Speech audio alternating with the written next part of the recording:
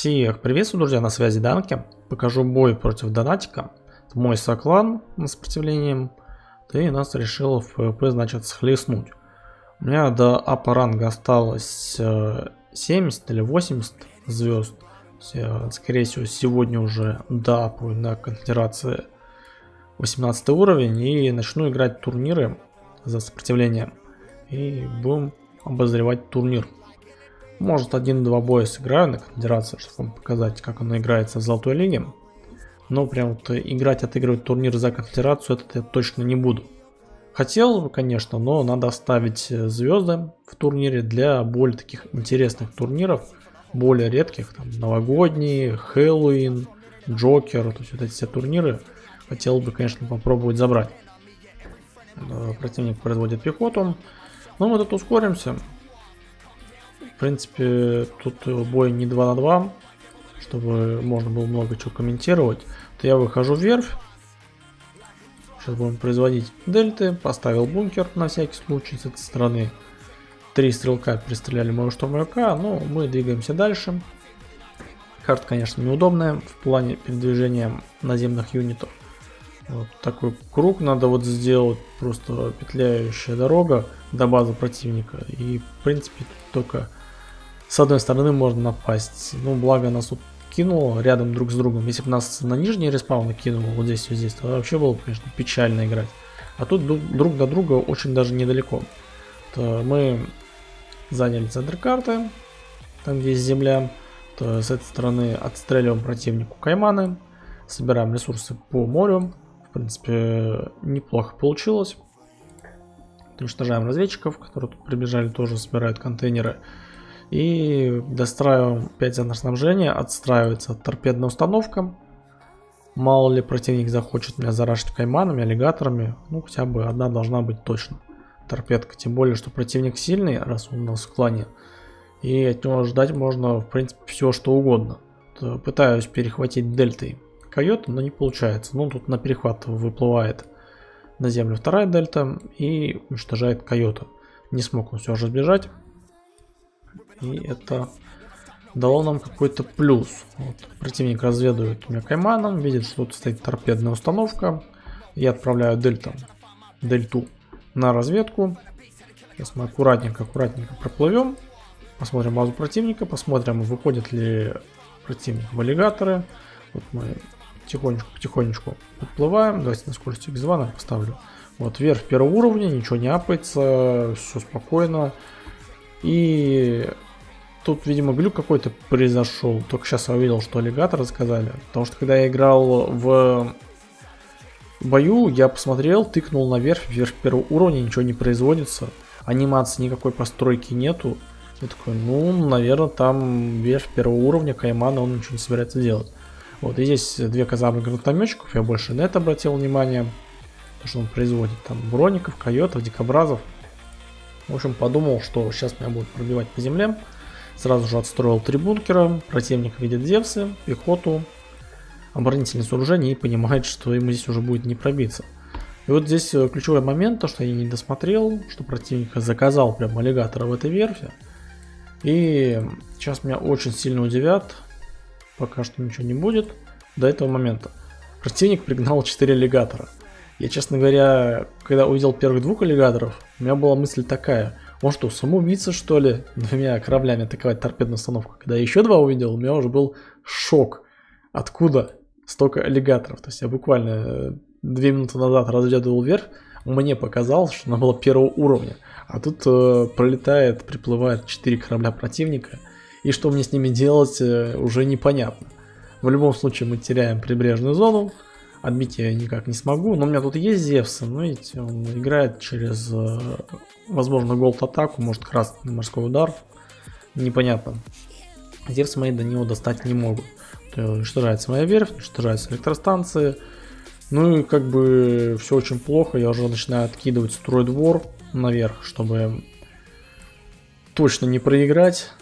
Потому что, блин, ну жалко. У меня серия побед сейчас где-то 210 боев в PvP в турнирах и сливать ее неохота.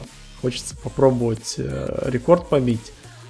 Э, ну, для себя просто рекорд поставить. Сколько я могу боев подряд выиграть и не проиграть максимально долго. Вот это меня очень сильно интересует, поэтому я стараюсь не тупить и играть. Ну, тут банально не знаю, ну, время было позднее, конечно, наверное. Поэтому я не заметил, что а, до Аликов вверх была уже улучшена.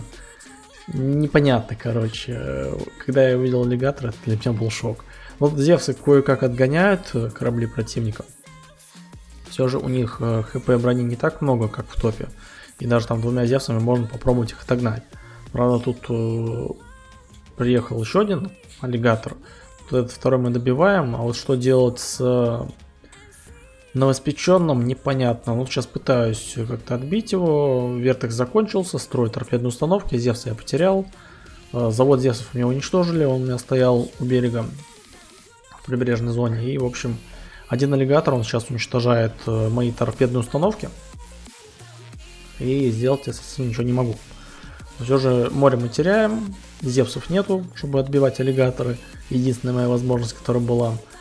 Э, ну, аэродром есть, авиазавод, но прям надо как-то быстро успеть наклепать кучу юнитов. Я, короче, в любом случае понимаю, что ГЗК Саликов меня дожмет с моря.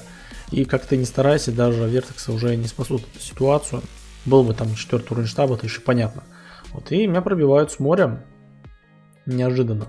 Но я успел отстроить до потери штаба две ракетные установки. Сейчас моя задача максимально быстро попробовать э, улучшить свои заводы. Да, заводы я потерял, но пока что у меня есть штаб третьего уровня, мне ничто не мешает э, отстроить новые заводы до Зевсов, до Градов и играть, к примеру, на первом штабе там на 25-30 КО, но хотя бы тяжелой техникой, а не легкой. Сейчас пытался как-то задержать противника пехотой, Потому что мне чуть-чуть времени не хватило, чтобы улучшиться до града, к сожалению. Очень плохо. Ну, что поделаешь. Здесь интересная атака на меня приходится на 12 минуте. Тут грены, дикобразы, но тут спасают чисто ракетные установки. Ракетные установки. Отстреливаются все гранатометчики. Пробивать бункера уже нечем становится. Ракетки, они просто разносят в хлам все дикобразы. Те отступают э, к себе на базу. Минус 3 дикобраза дали. Вообще неплохо. Конечно, ракетка на Голд Бароне это мощная штука. Но здесь э, алики добивают все же мои здания, которые находятся с этой стороны. Но у меня уже копятся ресурсы на восстановление штаба. Заказал одного Зевса. Ну, страшно было. Как так, сейчас нас надземки прожмут, будет очень больно. Вот мы отстраиваем новый штаб здесь. Э, и в принципе, пока нам делать больше нечего. То есть мы копим ресурсы, отстраиваем экономику, так как у нас сейчас было 4 центра снабжения всего лишь. Достраиваю еще 2. Ну, там еще они мне в итоге уничтожили с этой стороны. Ну, в сумме получается 5 цезий. Вот, и понимаю, что дело-то очень в любом случае хорошее, хоть мы отбились от атаки наземной, но все равно чего-то можно ждать от моего оппонента. Поэтому пока что на третий уровень штаба я не прихожу. Мало ли у меня чем-то заражен, не знаю, тот же Иго уже может пригнать. И ничто ему не помешает э, расправиться с моей базой. Как бы, а хоть как-то этому препятствовать сможет э, Зевс. Зевс на втором уровне штаба. ну, сделать их там, не знаю, штук 10-15, попробовать. Тайфунов немного. И попробовать выжить вот, это, вот этой армией. И выйти уже на третий, на четвертый уровень, штаба там продолжать как-то тащить. Ускоряемся. Пока что ничего интересного не происходит.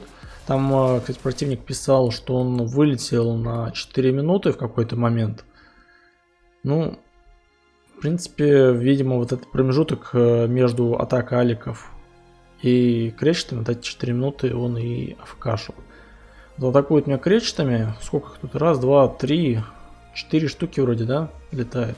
У меня тайфуны есть, правда, перераскладывать я их не хочу ближе к штабу вести, потому что боюсь, что их уничтожат тогда очень быстро.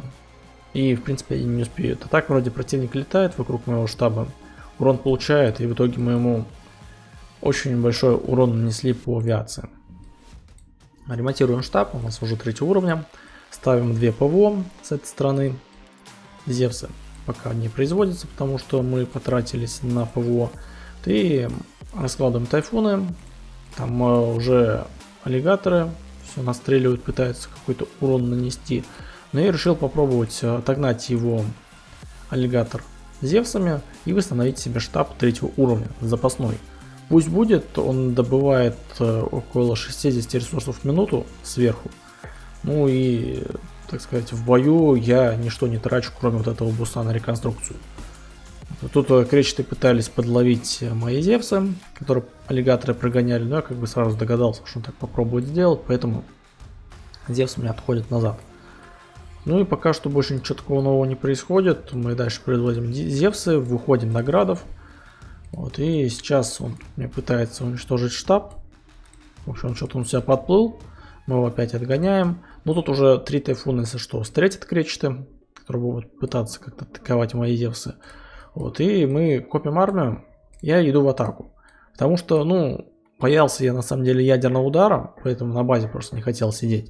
Ну и в принципе противник потратился на алики, противник потратился на бракуды, на кречты, и все это дело сейчас могу законтрить своими зевсами просто. Гранатометчиков расстреливаем в кустах, которые могут здесь находиться, потому что при передвижении я заметил, что у противника был тут отряд пехоты. Выстреляли вроде как кусты, наверное, кого-то убили, но тут еще повылазили. Гранатометчики мы их тоже уничтожаем и двигаемся на базу к противнику. Тут снайперская вышка встречает нас, но ничего страшного нету, в принципе, в ней. Она не прикрыта ничем, Зевс ее сразу же уничтожает. И тут и ягуары, гранатометчики, дикобразы, все это у него армия достаточно большая. Но у нас фул Зевсы идут вперед, у них даже потерь по хп нету. Два ягуара их точно не остановят. Пытаются кречеты спасти ситуацию, сразу же раскладывают тайфуны на автомате. Сбиваем кречеты, то есть они буквально только один разворот сделали, и уже были уничтожены. Пока не разворачивались, они уже два раза успели урон принять. Ну и мы пробиваемся зевсами, уничтожаем яги, причем я старался принудительно отдавать огонь, чтобы не уничтожали танки, фокусировал, так сказать.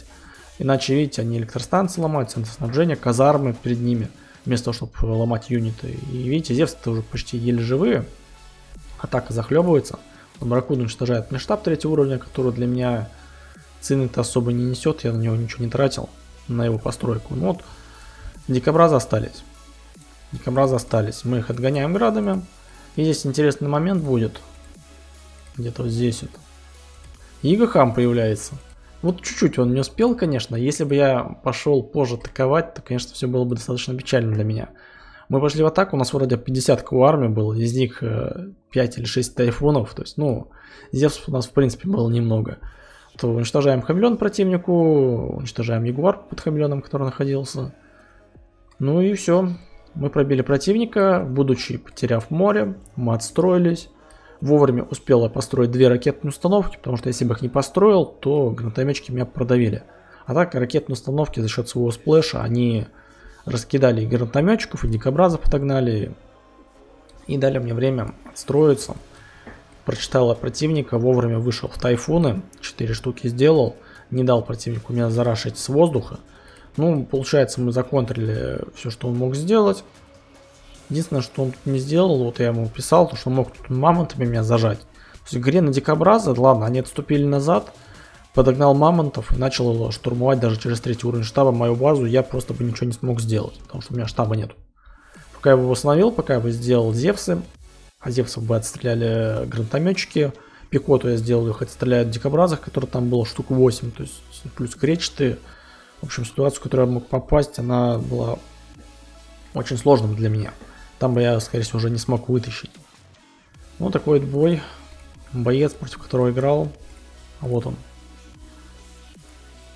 Хорошо играл. Так, ну и покажу вам бой в следующем видео. Вот этот раз. И вот это два.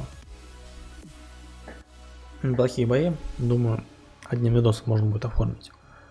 Благодарю вас за просмотр, подписывайтесь на канал и желаю всем удачи.